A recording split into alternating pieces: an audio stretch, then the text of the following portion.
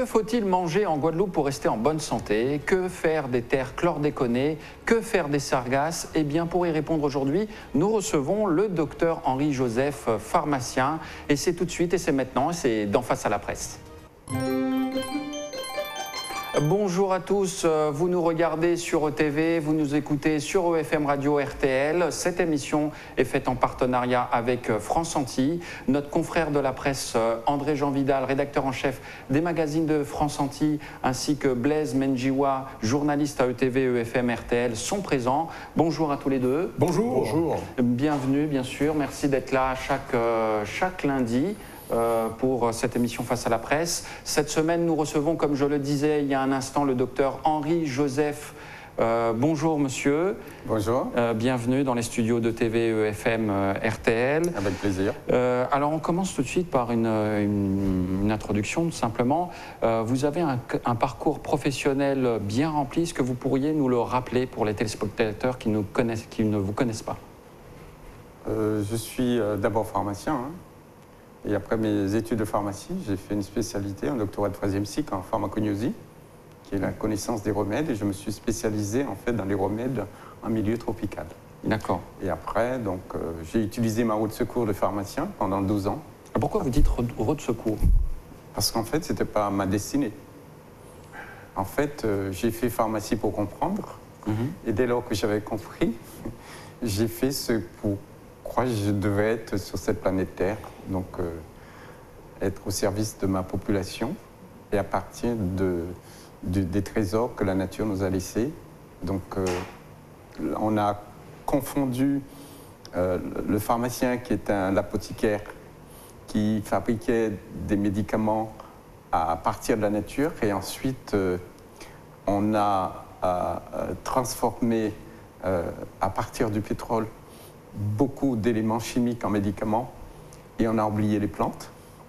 Et donc, euh, et c'est une des raisons pour laquelle euh, euh, j'ai décidé euh, de vendre ma pharmacie au bout de 12 ans, en fait, sur un coup de tête, parce que je me suis réveillé un matin, je me suis engueulé à moi-même en me disant que, écoute, qu'est-ce que tu fais, Henri?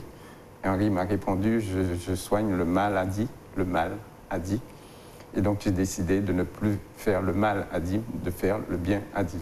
Et donc c'est pour ça que j'essaie de, de rendre les gens bien au lieu, au lieu de les rendre malades. Donc vous êtes propriétaire aussi d'un laboratoire. Parlez-nous de ce laboratoire. Donc c'est un laboratoire que j'ai créé euh, donc en 2005 après avoir vendu ma pharmacie. Et je me suis associé à mon professeur de chimie, le professeur Paul Bourgeois. Et c'est lui qui m'a initié à la chimie des plantes. Et quand il est parti à la retraite, euh, il s'est associé à son élève. Pour moi, c'est un gage euh, vraiment euh, de bonheur de s'associer à son professeur. Bien, on embraye tout de suite euh, par une question de France Antilles, André Jean Vidal. Vous avez demandé et, et obtenu d'ailleurs, euh, docteur, l'inscription des plantes locales dans la pharmacopée française. Pourquoi ça n'avait pas été fait avant? Ça n'a pas été fait avant euh, pour une raison très simple. C'est parce que c'est toujours le même parcours.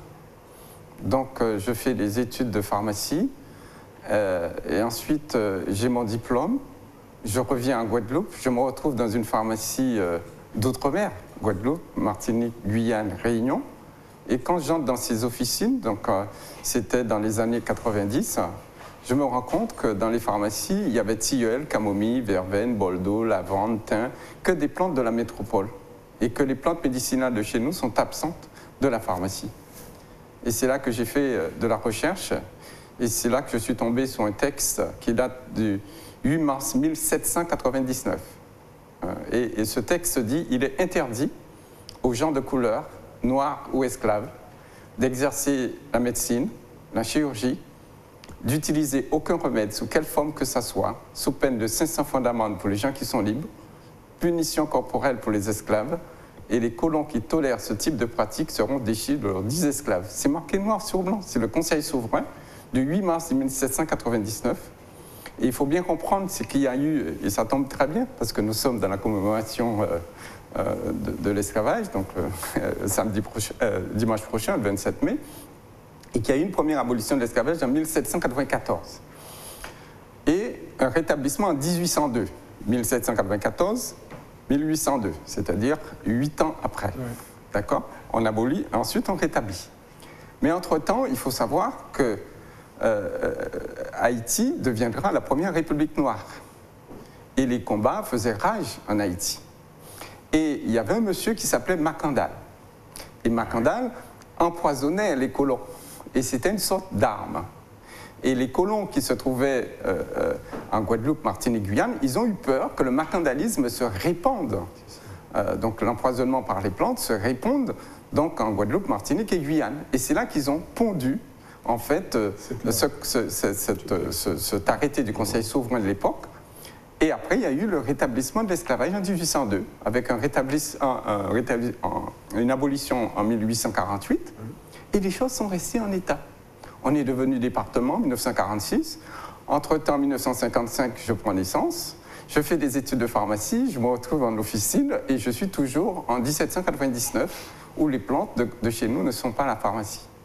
Et c'est là que je vais rencontrer une avocate, maître Isabelle Robard, donc qui est avocate au barreau de Paris, et que je vais expliquer dans un colloque à Nice, maître, est-ce que vous savez, en tant que pharmacien, de quoi je suis président du syndicat des pharmaciens de Guadeloupe, et il m'est interdit de vendre les plantes médicinales de chez moi dans ma pharmacie.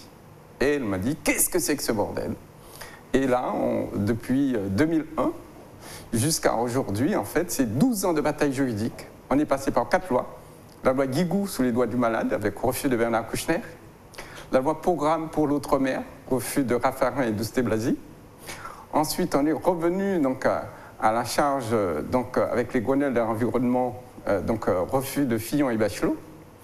Et ensuite, on a abouti en 2009, en fait, en pleine crise sociale, et nous avons réussi à modifier l'article L 5112-1 du Code de la santé publique, qui disait dans son ancien article La pharmacopée comprend la pharmacopée européenne et française.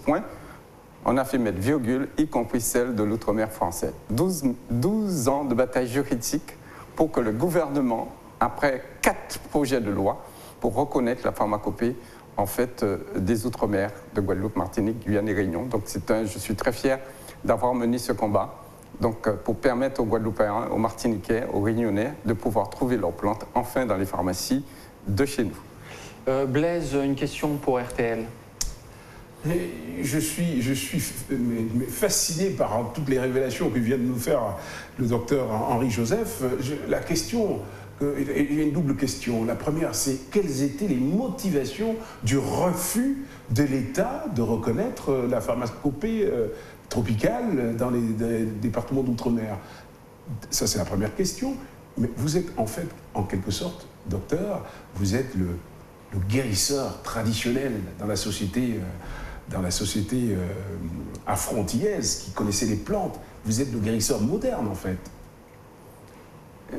je ne sais pas si c'est le terme de guérisseur moderne. C'est le nom Je ne sais pas si c'est le terme de guérisseur moderne qu'il faut employer. Je pense qu'il faut plutôt retenir qu'on vit sur une île, ou plutôt un archipel. Et quand vous regardez la Guadeloupe, euh, vous regardez les Saintes, vous regardez Maïgalante, des Irades, nous sommes entourés d'eau, on ne peut pas s'échapper. On ne peut pas s'échapper.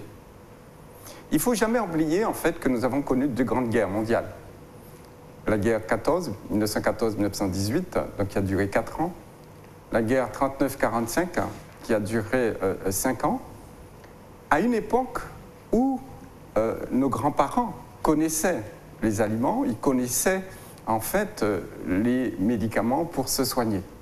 Donc aujourd'hui, avec toute l'insécurité qui existe au niveau international, voyez ce qui se passe donc, euh, euh, donc en Syrie, donc en Iran, en Irak, Corée du Nord. Nous sommes dans une, sorte d'instabilité au niveau international. Imaginez que demain matin, on dit que Trump dit voilà, je veux plus qu'il y ait de circulation en fait sur euh, l'Atlantique pour protéger le continent américain par rapport aux Russes, je ne sais quoi. Ah ben, il n'y a plus de conteneurs qui vont nous amener, qui nous emmènent aujourd'hui 100% de nos médicaments, qui nous emmènent 80% de notre alimentation. Vous savez comment ça s'appelle? Ça s'appelle la mort. C'est-à-dire, si on ne peut plus se nourrir, on ne peut plus se soigner, on meurt. Et donc, moi, c'est par rapport à tous ces euh, éléments de réflexion, je me suis dit, comment faire dans un pays où nous avons 3800 espèces de plantes, 3800 usines capables de fabriquer tout ce l'homme a besoin, des aliments pour se nourrir, nous avons 220 espèces comestibles, monsieur. 220 espèces comestibles. On vous dit qu'il faut manger 5 fruits et légumes par jour pour être en bonne santé. Alors justement, vous avez un projet alimentaire pour la Guadeloupe. Parlez-nous de, ce projet. Alors, euh, en fait, les projets alimentaires, c'est indispensable. Vous savez, on est là. On est sur un plateau, on est tous contents. Mais pourquoi on est debout? C'est parce qu'on est vivant. Pour être vivant, il faut manger le matin, il faut manger le midi, il faut manger le soir. Et qu'est-ce qu'on mange? On mange ce qu'on appelle des aliments. Et les aliments sont composés de nutriments. Les nutriments sont les protéines, la viande, le poisson, euh, le poulet, les œufs. Les glucides, c'est-à-dire les sucres, les sucres de canne, euh, les amidons sont des sucres, hein, amidons de fouille à pain, de patates douces, euh, d'igname, de riz, etc. Et vous avez les lipides. Les lipides, donc ils peuvent être des lipides végétales ou des lipides animaux. Et vous avez ce qu'on appelle les oligoéléments et les vitamines. Vitamine A, vitamine B, vitamine C, etc. Les oligoéléments, magnésium, calcium. Et ces nutriments, on trouve ça dans les aliments. Or, ces aliments existent chez nous. Les protéines, on en a.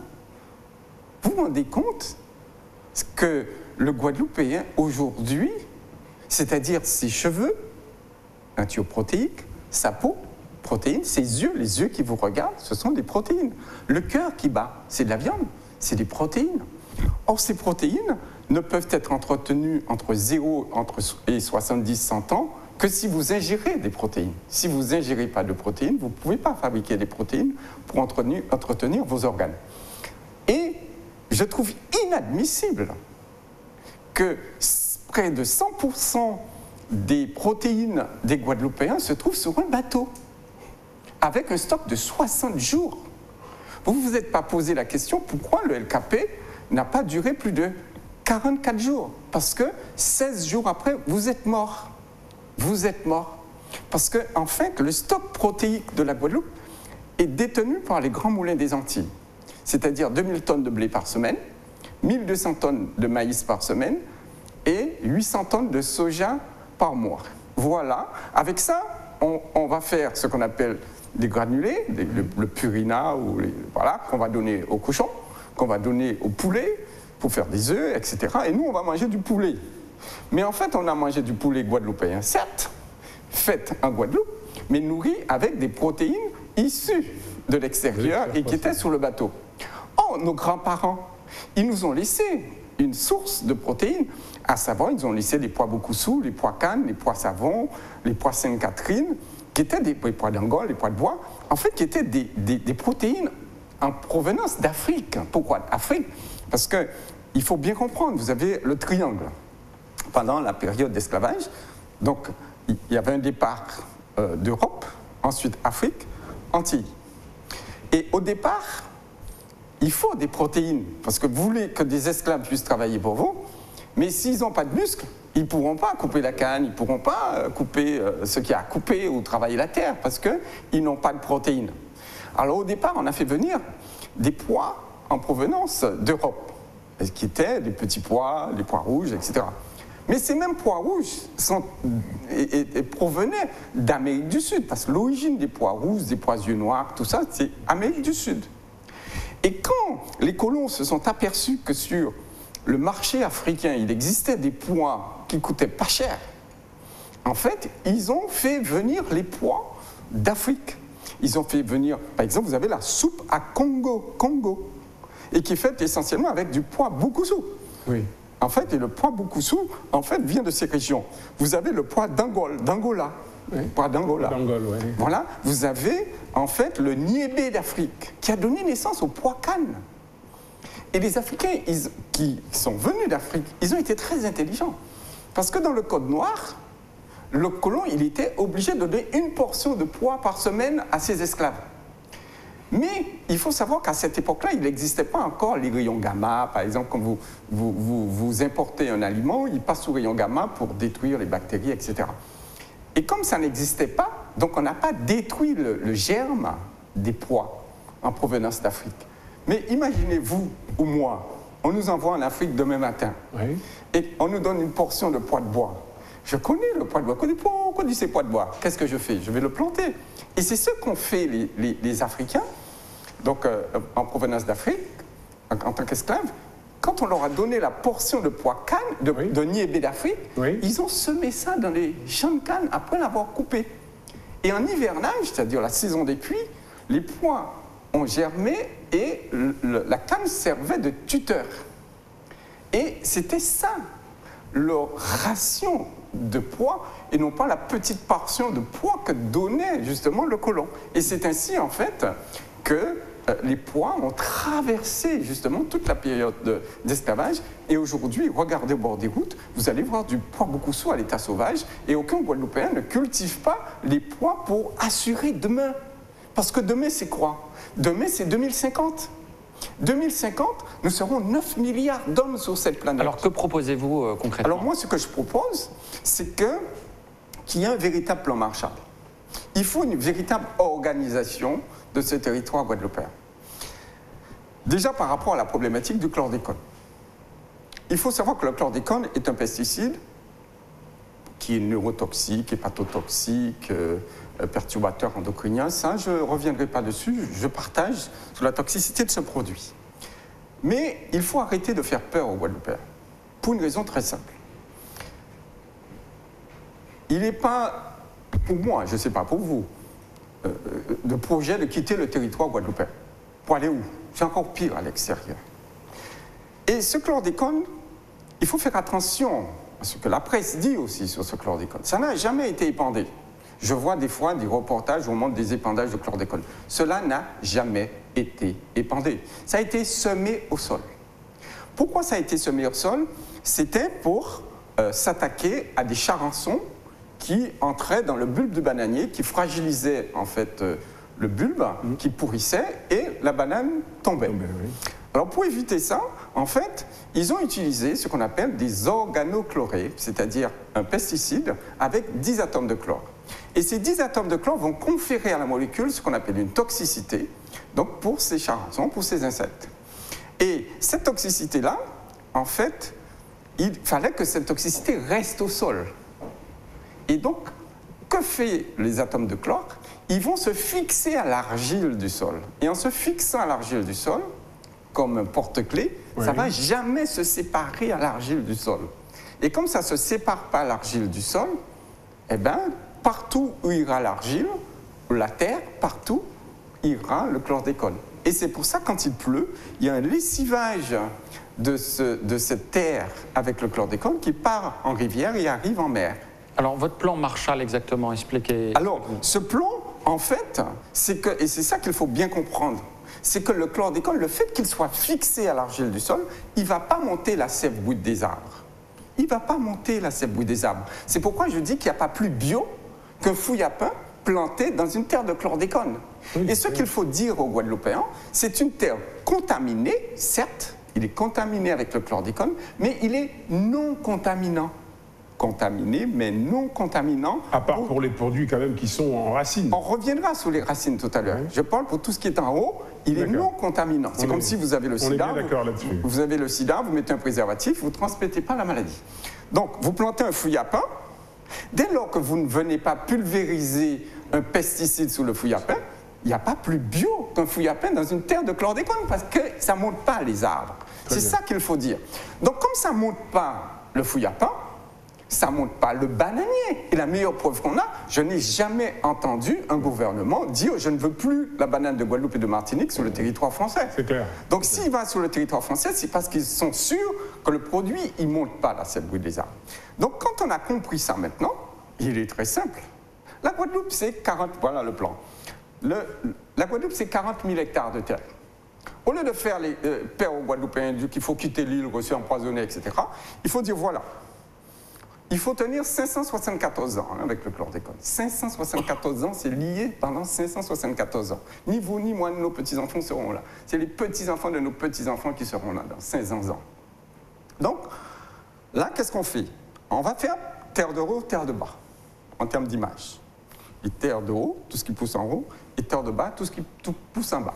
La Guadeloupe, c'est 40 000 hectares de surface agricole utile, où on fait les cultures vivrières, la canne, la banane et toutes les cultures. Ça s'appelle les SAU, les surfaces agricoles utiles. Sous ces 40 000 hectares, vous avez 5 200 exactement, disons 6 000 hectares de bananes. Mais 6 000 moins 40 000, il vous reste 34 000 hectares sans chlordécone. Alors que faut-il planter sur eh bien, Sur les 34 000, on va prendre un exemple. On prend 1000 hectares sous les 34 000. 1000 hectares. J'ai demandé à M. Arnoulin, donc ancien chercheur de l'INRA, je lui ai demandé le rendement d'une bonne igname à index glycémique bas, donc très intéressant pour ne pas prendre du poids. Quel est le rendement hectare des couscous? Igname, couscous. Il me dit 54 tonnes. Vous avez 54 tonnes par hectare. Vous prenez 1000 hectares qui n'a pas de chlordécone dans les 34 000, donc il reste 33 000 derrière. Donc 54 multiplié par 1000, ça fait 54 000 tonnes de couscous, d'igname, couscous, sans chlordécone. Vous multipliez ça encore par 1000 kilos, parce qu'une tonne c'est 1000 kilos, donc ça fait 54 millions de kilos. C'est 54 millions de kilos d'igname. Vous divisez ça par 400 000 habitants, bébé compris, ça vous fait 105 kilos d'igname par habitant. Et quand on me dit qu'on ne peut pas autosuffire, donc en termes de glucides, comme les ignames sans chlordécone, c'est une blague. C'est une question d'organisation, d'aménagement du territoire. Donc, il reste encore 33 000. Vous allez faire des malangas, des madères, des patates douces, tout ce qui pousse en bas, dans terre de bas. Et dans terre de haut, par exemple, toutes les terres de basse terre, vous allez faire tout ce qui est en haut, à savoir les fouilles à pain, les avocats, les cacao, euh, les mangues et tout ça. Et tous ces cacaos, ces mangues, ce sont des aliments qui contiennent des antioxydants. C'est des substances protectrices de notre organisme pour vivre longtemps. Donc, vous avez la grande terre Marie-Galante, Désirade, qui nous fabrique tout ce qui est en bas, et vous avez la basse terre qui fabrique tout ce qui est en haut. Et quand vous avez une superbe production, au lieu de vendre un kilo de couscous à 5 euros du kilo, vous avez 54 millions de kilos, vous le vendez à 1 euro, vous avez 54 millions d'euros, vous êtes riche et votre pays se développe. Alors qu'est-ce qui empêche cela? Eh bien, c'est tout simplement parce qu'on ne réfléchit pas. On ne réfléchit pas dans ce pays. On fait qu'attendre que la France nous donne à manger, nous donne à manger. Il faut travailler dans ce pays. On ne travaille pas. Alors c'est pourquoi ce que je propose comme autre plan Marshall, c'est qu'il faut qu'on pratique ce qu'on appelle l'économie symbiotique. En fait, quand on vous pose la question, je vous pose la question, vous savez ce que ça veut dire économie? Dites-nous. Alors, économie, son étymologie grecque, ça vient du mot grec oikos, nomia. Économie, oikos, nomia. Oikos, ça veut dire maison. D'accord? Et nomia veut dire gérer, administrer. Et donc, l'économie, c'est tout simplement gérer sa maison. Mais la maison Guadeloupe, est-ce qu'on le gère? On ne gère pas cette maison Guadeloupe parce que quand je regarde, on ne gère cette maison qu'avec du CID. Le CID qui veut dire tuer. Homicide. Quand j'écoute euh, les infos, on me dit qu'entre janvier 2018 et mars 2018, il y a huit morts. Un Guadeloupéen a tué un autre Guadeloupéen, en fait, donc par semaine. 8. Vous avez 3 fois 4, 12 semaines divisé par 8. Ça fait un mort par semaine. Donc, homicide. Voilà comment on gère cette Guadeloupe. Ensuite, insecticide. On tue l'insecte, chlordécone. Ensuite, herbicide. On tue la plante avec le glyphosate, qui vient d'être autorisé encore pour trois ans, d'après Nicolas Hulot, et cinq ans que veut l'Europe. Donc pendant que vous êtes en train de vous préoccuper de quelque chose qui est derrière vous, qui est le chlordécone, parce qu'on n'en met plus, vous ne vous préoccupez pas que le glyphosate vient d'être prolongé pour trois ans. Vous avez entendu Nicolas Hulot avant-hier sur le sujet. C'est en discussion dans la nouvelle loi cadre euh, de, de, l'alimentation. Donc, on est en train de se mordre la queue. Ensuite, fongicide, vous tuez les champignons. Vous tuez tout, on tue tout. Il faut arrêter de tuer. Il faut faire ce qu'on appelle de l'économie symbios en symbiose. Laissez-moi terminer. Symbiotique, économie symbiotique. Sum qui veut dire avec, et bios veut dire vie. Et quand on va faire de l'économie à partir de la vie, la Guadeloupe va se développer. parce que nous avons 3800 espèces de plantes, 3800 espèces de vie capables de fabriquer tout ce dont on a besoin, les aliments pour se nourrir, les médicaments pour se soigner. Vous voyez, je suis habillé en bleu. C'est pas du bleu importé, c'est du bleu de Gourbert, l'édigo de moi, que j'ai planté. Voilà, je suis habillé en guadeloupéen. Il faut qu'on crée de la richesse à partir du sol. On a un seul trésor, c'est la biodiversité. Vous avez encore entendu euh, Nicolas Hulot à, Marseille qui a dit qu'il faut qu'on préserve cette biodiversité. Mais ce n'est pas avec M. Hulot, ce n'est pas avec le CID qu'on va protéger la biodiversité. Il faut interdire sur le territoire guadeloupéen. On a trop souffert du chlordécone, on a trop souffert, maintenant on, va encore souffrir du glyphosate. Le, banol, qui est un antifongique pour tuer les champignons, il faut arrêter ça. Il faut que la Guadeloupe fasse exactement, prendre comme modèle le parc national de Guadeloupe ce parc national de Guadeloupe, je n'ai jamais vu un homme mettre ni de l'engrais chimique, ni un insecticide, ni un pesticide, et regardez comment la forêt de Guadeloupe est jolie. Alors il faut faire ce qu'on appelle de la bio-inspiration, et c'est ce que nous faisons à Phytobocase. Depuis 13 ans, on n'a pas mis une goutte d'engrais, une goutte de pesticide, une goutte d'herbicide, et on se porte bien. André Jean Vidal, une question de France Antilles. Comment faire en sorte, docteur, que les, nos jeunes enfants qui malheureusement préfèrent la, la patate frite à l'igname soient éduquer, je pense que c'est ça la solution, mais comment faire? Il faut faire de l'apprentissage du goût. Mhm. Et il faut... on, le faisait pendant un moment, euh, il me semble, mais ça, ça a été abandonné, ça. Vous savez que l'apprentissage du goût d'un enfant se fait entre 6 mois et 3 ans. Mhm. Si entre 6 mois et 3 ans, vous n'avez pas donné un petit pot guadeloupéen à un bébé, il ne le mangera pas quand il sera grand, parce que l'enfant, il faut bien se mettre à la place de l'enfant. L'enfant vient de naître.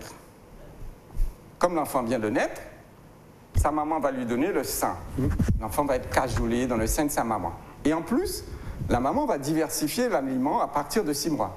Et cette diversification passera par quoi? Des petits pots blédina, pour ne pas le citer. Et ces petits pots blédina, pommes, coin, poire, artichaut. Voilà les goûts de l'enfant. Il faut faire des petits pots de pain, des petits pots de, d'igname, de patates douces, de poyo à l'enfant, des petits pots de pommes citerres, de, de, de Et quand l'enfant aura ses goûts d'aliments du pays, à ce moment-là, on va développer. J'ai entendu M. Jalton hier dire on va faire un pôle agroalimentaire. Je veux bien qu'on fasse un pôle agroalimentaire. Mais encore faut-il que tous les projets sur les pôles agroalimentaires, il faut qu'on s'entende aussi. Parce qu'il y a le même projet, Hans Bertrand. Quel projet retenir? Il ne faut pas se battre ici, il faut fédérer, il faut que tout le monde se mette ensemble et dire qu'est-ce qu'on fait pour ce beau pays qu'est la Guadeloupe. Et c'est ça, je pense qu'on peut réussir. Et pourquoi on ne fait pas ces petits pots? Qu'est-ce qu'il interdit? Qu'est-ce qu'il interdit? Eh bien, c'est que nous attendons ce que la France nous donne à manger. Mais faut... qu'est-ce qu'il interdit, docteur? Rien eh des, des gens qui prennent des initiatives. Moi, j'ai vendu ma pharmacie. J'aurais pu rester dans ma pharmacie en mhm. train de délivrer des médicaments. J'ai dit non, il faut que je fasse des choses à partir. Mais moi, je ne peux pas tout faire. Je vous dis ce qu'il conviendrait de faire. Mhm. Mais il faut que le Guadeloupéen se prenne en main. Et en fait, c'est ce qui est en train de se passer. Hein. Vous dites que la France nous abandonne. La France ne nous abandonne pas. Il veut qu'on grandisse. Ils disent prenez-vous en main. Moi, je ne suis pas là pour vous, vous, faire tous vos problèmes. Il faut qu'on se prenne en main dans ce pays. Dans une, dans une enquête que nous sommes en train de mener, nous avons rencontré précisément dans la région de Anse-Bertrand un monsieur Chéron, Christian Chéron, un monsieur de 78 ans, qui met en valeur euh, euh, euh, les, fruits à pain pour en faire des condiments qui, accompagneraient, accompagnent des poissons grillés, de, de, la viande, qui peuvent servir de sauce pour faire une salade. Mais malheureusement, ce monsieur ne peut pas encore commercialiser à grande échelle les produits qu'il fait voilà une initiative qu'il faudra encourager, non? Vous avez dit, vous avez dit que. Moi, je félicite M. Chéron. Et vous avez dit qu'il a 78 ans. Oui, hélas. À 78 ans, cet homme-là, on devait le mettre le piédestal. C'est exact, j'en conviens. D'accord? Donc, Je suis d'accord avec vous. Donc, le gars, il commence, il commence. Il a un projet futur à 78 ans. Dans deux ans, il a 80 ans. Il, est tellement plein de vie. Il faut miser sur la jeunesse. Il faut qu'on sorte de tous ces modèles eh, qu'on importe et qui nous appauvrissent. Il faut aller vers des modèles qui nous enrichissent. Et, et ces modèles qui nous enrichissent, c'est ce que j'appelle la, créativité inventive et productive. Aller chercher au plus profond de nous-mêmes ce que nous avons d'original et de spécifique et valoriser. On va créer ce qu'on appelle de la richesse. Et quand l'outre-mer va créer de la richesse à partir de sa biodiversité, c'est là que la Guadeloupe et les, et les autres départements d'outre-mer vont se développer. Et là, la France va nous dire merci parce qu'on va augmenter son produit intérieur brut. Merci. C'est le moment de notre rubrique 5 minutes en question. Alors, je vous rappelle le principe de cette rubrique. Nous avons un chronomètre qui va se déclencher dans moins de 5 minutes et vous avez exactement moins de 5 minutes pour répondre au maximum de questions. Donc, il faut faire des réponses bien sûr courtes. Euh, la première question, alors top chrono, j'allais oublier le chrono, top chrono s'il vous plaît, voilà la technique. André-Jean Vidal, la première question vous revient. Vous avez euh, inventé le régime caribéen. Dans l'ONU et la FAO, ce, ce, on fait l'éloge. Dites-nous en plus. Alors, le régime caribéen est très simple. On est entouré d'eau de mer, du poisson. Plus de poisson que de viande. Parce que la, le poisson, en fait, contient des graisses qu'on appelle des oméga 3 Oui. et qui nous permettent de rester en bonne santé. Donc, poisson. Ensuite, aliment à index glycémique bas. L'index glycémique, c'est la capacité que possède un aliment pour donner son sucre au sang. Plus le sucre est donné vite, plus vous prenez du poids, plus vous développez un diabète et plus vous devenez violent. Or, la plupart de nos aliments sont des aliments à index glycémique bas. C'est-à-dire, on a fait la plus grosse connerie de notre vie, c'est de laisser tomber les poils, les patates douces, les ignames qui ont un index glycémique de, euh, inférieur à 50. Ouais. On a, on a laissé ça tomber pour aller prendre de la pomme de terre, du riz et du pain qui ont un index glycémique supérieur à 80. Il ne fallait pas faire cette bêtise. Euh, Blaise, euh, Et enfin, il y avait une troisième, c'est donc poisson, aliments bas et les antioxydants. Les fruits et légumes. Blaise. Vous avez rencontré le président Macron quand il est venu, euh, je pense à l'époque il était candidat. Oui. Qu'est-ce que vous lui avez dit s'agissant de l'activité qui est celle de phytobocase que vous développez depuis euh, bi- bientôt presque 20 ans? Eh ben, vous pouvez aller sur euh, l'émission d'ATV, hein, ETV. de Chris- ETV, pardon, ETV, pardon, euh, de Christophe Langlois, sur Questions sans détour, et il, il me cite. Le- il n'était pas président, il était Oui, il était candidat, oui, je candidat rappelle, ouais. président. Exactement ce que je viens de vous dire, je lui ai dit. Et allez sur l'émission Questions sans détour, tapez Macron, vous allez voir, il me cite à 6 minutes, hein, vous voyez voir, il me cite et il dit que les lois ne sont pas adaptées. Il était candidat président. Donc moi je dis à M. Macron, aujourd'hui, s'il me regarde, chiche, adaptons les lois. Oui, c'est le président qui était venu ici dans les studios de TV EFM. Prochaine question, André-Jean Vidal. Vous avez contribué à la création d'un diplôme universitaire de botanique aux Antilles, des Antilles, euh, à l'Université des Antilles. Alors, Oui, c'est-à-dire en... ça fonctionne bien? Euh, non, c'est-à-dire qu'en fait, c'était en 2001, Oui. au moment où on était en train de, de faire tous les combats en fait pour la reconnaissance des plantes. Donc avec l'aide du professeur Jeanqui, donc il fallait un Tout professeur de, de- de médecine. Donc on- a créé à la fac de médecine de Pointe-à-Pitre un DU de phytothérapie tropicale et on a formé euh, 50 pharmaciens et médecins à la connaissance des plantes de chez nous. Ce qui est bien. Il Et nous après, reste- euh, non, plus, plus, Pardon? plus rien après?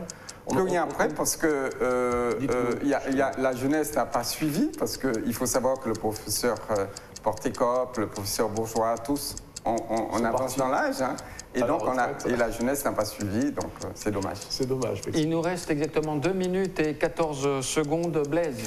Oui, alors je vais revenir sur le, le plan Marshall que vous avez, dont vous- que vous avez exposé tout à l'heure en, en- t- très brièvement. Est-ce qu'il n'y a pas chez nous, en Guadeloupe, des freins qui sont qui, qui empêchent ce développement autocentré, ce développement autocentré d'une agriculture qui permettrait de satisfaire, de faire en sorte que nous soyons, euh, que nous ayons cette autonomie alimentaire. Oui, un frein, c'est ce que moi j'appelle le RSA, Revenu Solidarité Active, que j'appelle plutôt revenu de solidarité passive. Parce qu'aujourd'hui, on trouve personne. Vous trouvez normal que je suis pharmacien, 12 ans d'études, et ça, je sais, ça me plaît. Et c'est moi qui suis dans mon champ tous les matins, en train de s'appeler. Parce que les gens me disent, écoutez, moi je touche le RSA. Le RSA, et c'est pour ça que j'ai fait une proposition d'ailleurs à nos parlementaires, que je, je- je profite pour le dire. Oui. J'ai fait une proposition, c'est de transformer ce RSA en RMCB, revenu minimum de conversion bio. Donc pour ne plus avoir utilisé de pesticides, d'herbicides, mais il faut des gens pour s'appeler. Alors vous prenez le RSA, revenu solidarité active, que j'appelle passive, RSP. Oui. Donc les 400 euros, vous les gardez, vous les transformez en RSA, active maintenant. 400 euros. 400 plus 400, ça fait 800 euros. D'accord? Et vous demandez une participation de l'agriculteur de 400 euros. 3 fois 4, 12. Donc vous êtes à un SMIC. Vous sortez de 400 euros, vous passez à 1200 euros. Vous êtes dans l'activité. C'est transformer le RSA passif en RSA active avec le 400 euros pour un agriculteur. S'il prend 10 agriculteurs, ça lui fait 4000 euros pour 10 personnes. Il nous reste 30 secondes. Donc vous voyez, on peut faire des choses, mais il faut que le Guadeloupéen travaille. Moi, je ne peux pas cotiser pour que des gens restent chez eux et que ça soit encore moi qui aille dans les champs pour, pour travailler. Le message est bien passé, on en prend acte. Euh, bien, merci. Top, le- les 5 minutes se sont écoulées. Il restait encore 6 secondes. Euh, C'est déjà l'heure de la pause publicitaire. Restez sur ETV. L'émission continue juste après cette petite pause.